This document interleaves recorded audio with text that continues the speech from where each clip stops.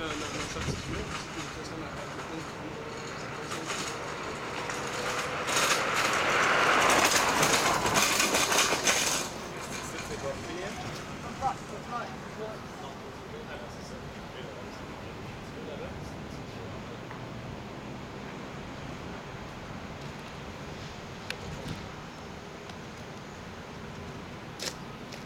Go to.